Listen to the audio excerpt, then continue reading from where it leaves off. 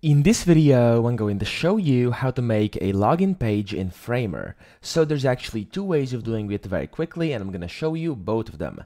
Now the first one is you can go inside one of your projects and you can hover over the insert tab and then click it up top left and then scroll down until you see forms. Now in here, as you can see, you can see it says kind of a form builder so we can just click on that and this will kind of input that in here and you can just place it onto your paper or onto your page over here in inside your display.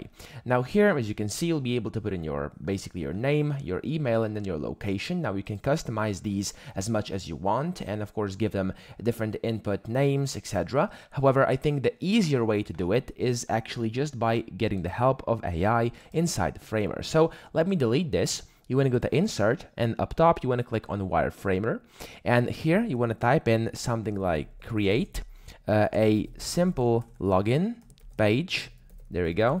With um, let's say username and password input fields uh, and a login button at the bottom okay? So for example something like this. Of course you can name it whatever you want to. You can give it some more prompting if you want to. But for me this is gonna be it. I'm gonna click this button over here.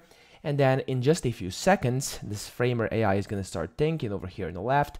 And there we go. As you can see it already created the login page over here. It says here's a simple login page layout with space for username and password input and a login button, okay? So if you go to the right over here, you can see this is how it's going to be visible on your tablet, your phone, and then on the desktop as well over here. And this is pretty much it. So of course you can um, set whatever you want. Over here you can customize it according to your own needs but this essentially can be your login page. Now you can use the AI to customize it. You can customize it uh, on your own just by using different uh, options and settings and filters in here inside the framer but this is essentially how I would go about it and I think this is the best and quickest way of doing it. So that's pretty much it. I hope this video helped you out. If it did please subscribe to the channel and help me out as well